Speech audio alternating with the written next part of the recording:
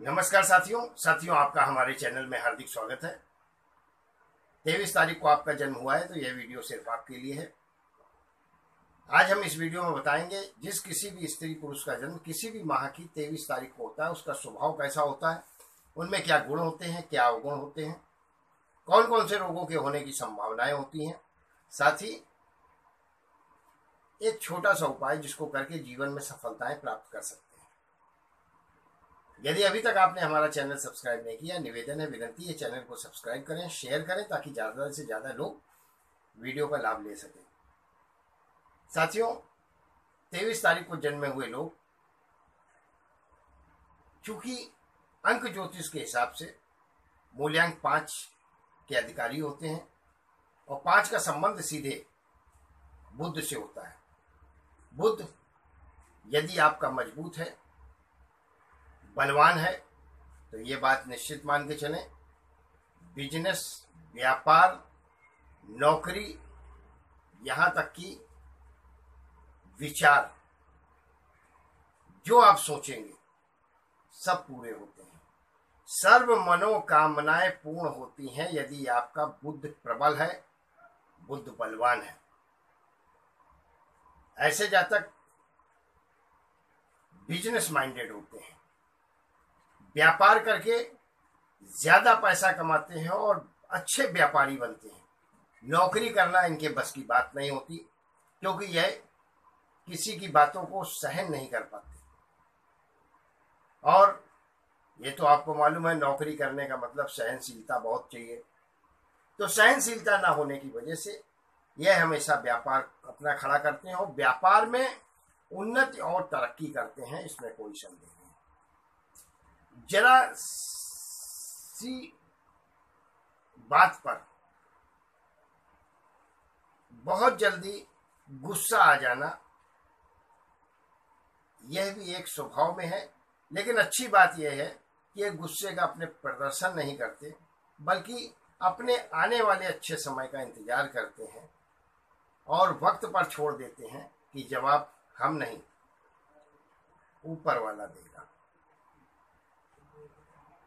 इन ये हर प्रकार की समस्या, कैसी भी हो, कितनी भी बड़ी समस्या हो, उसका निवारण सहजता के साथ करते हैं, सहजता के साथ।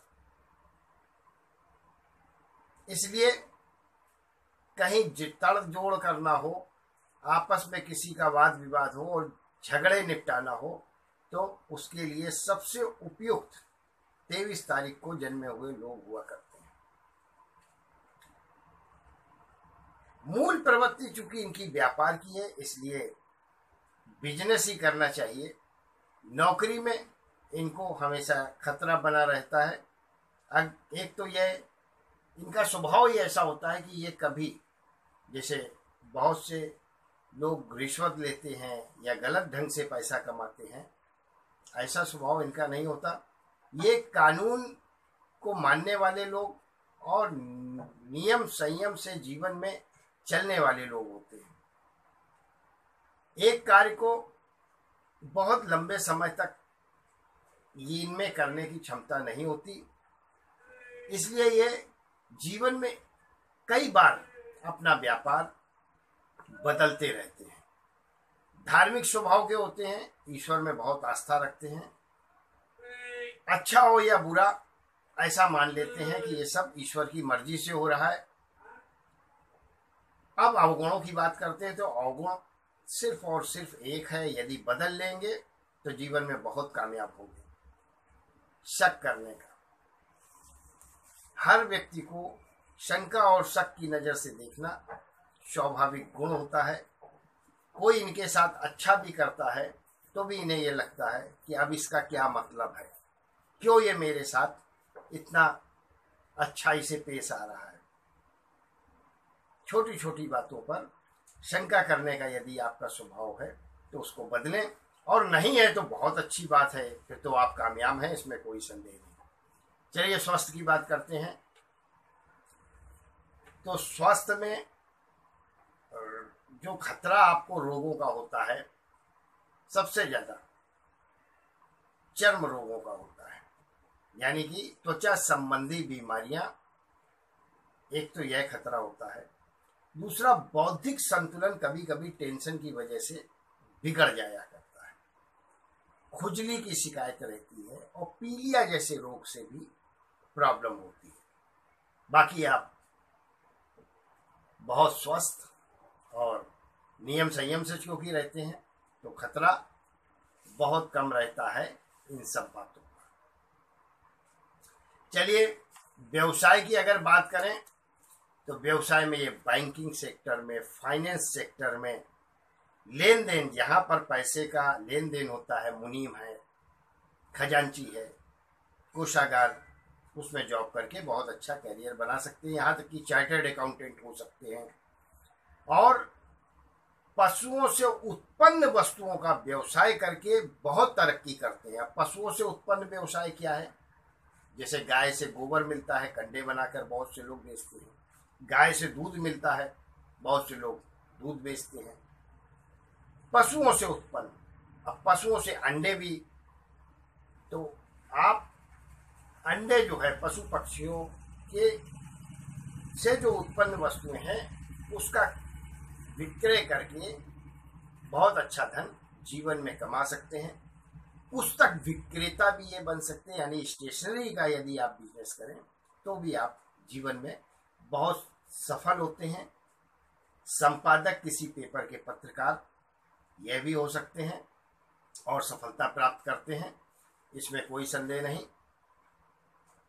प्रेम संबंधों की जहाँ तक बात करें तो इनका हमेशा एक से नहीं, बहुत से लोगों से प्रेम संबंध रहता है, क्योंकि इनका जो अंदाज है, स्टाइल है वो सबसे भिन्न होता है और यही इनकी सबसे बड़ी पहचान होती है। इसलिए बहुत जल्दी लोग इन पर इम्प्रेस हो जाते हैं, मोहित हो जाते हैं, मुग्ध हो जाते हैं। और प्रेम के मामलों में ऐसा नहीं बोलेंगे कि ये सफल नहीं होते, लेकिन असफलताएँ इनको ज़्यादा देखने को मिलती हैं, क्योंकि यह निष्ठावान तरीके से सामने वाले से जो वादा करते हैं, उसको पूरा करने की कोशिश करते हैं। लेकिन सामने वाला जो है इनकी भावनाओं को, इनके व्यक्तित्व को नहीं समझ पाता। इसलिए प्रेम संबंध बहुत ही कम सफल होते हैं। ऐसा नहीं कि सफल नहीं होते, बहुत कम सफल होते हैं। क्योंकि यह जीवन में हमेशा बिज़नेस माइंडेड होते हैं, जैसा मैंने शुरू में बताया। और व्यापारिक होने की वजह से प्रेम संबंध कभी कभी इनके बिगड़ जाया करते हैं। अगर यह दोष आप में है तो बदलें। नहीं है तो फिर बहुत अच्छी बात है फिर तो, तो सफल है जीवन में। जीवन में और अधिक सफलता के लिए चार कैरेट से ऊपर का पाचू रत्न यानी कि पन्ना धारण करें। भगवान श्री गणेश का पूजन करें। पन्ना करंगली में बुधवार के दिन होरा काल यानी कि सूर्योदय से लेके एक घंटे के अंदर के समय में धारण करना है। और श्री गणेश का पूजन करना है। हरी मूंग की दाल अपने सिर से ना गिनते हुए उतार के बहते हुए पानी में छोड़ दें। इतना अगर करेंगे तो बिज़नेस व्यापार जॉब जो भी आप करते हैं या शिक्षा ग्रहण करते हैं, कोई आपका हाथ नहीं पकड़ेगा। जीवन में बहुत सफल होंगे और सारी स्थितियाँ आपकी मज़बूत होती जाएँगी, क्योंकि बुद्ध यदि शुद्ध है तो जीवन में कामयाबी है। ईश्वर आपको हमेशा सुखी रखे, संपन्न रखे, स्वस्थ रखे। इसी कामना के साथ अगली वीडियो में आपसे फिर मुलाकात होगी, बात होगी, एक चर्चा होगी ज्योतिष के नए विषय पर। आपने वीडियो अंत तक देखा इसके लिए बहुत बहुत आभार बहुत बहुत धन्यवाद।